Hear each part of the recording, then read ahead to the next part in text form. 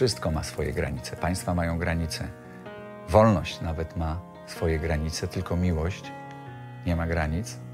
I o miłość zawsze się modlę na moim ukochanym drewnianym różańcu. Różaniec. Mój ukochany drewniany różaniec. Mam ich sporo.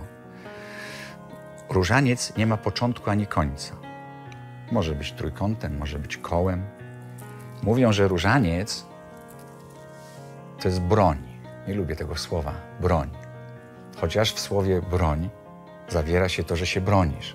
Ale broń człowiekowi służy do atakowania drugiego człowieka. Wolę mówić o różańcu, że jest moją tarczą, na której spotykam się z Matką Boską i z, dzięki któremu mam porozumienie z całym światem. Bo kocham świat i ludzi.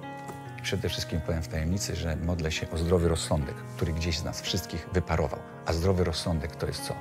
Poczucie piękna, uśmiech, zadowolenie i przede wszystkim miłość i zrozumienie dla drugiego człowieka.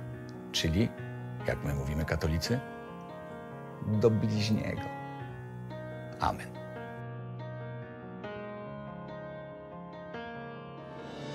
Dołącz do wielkiej modlitwy różańcowej 7 października na granicach Polski. Więcej na www.różaniecdogranic.pl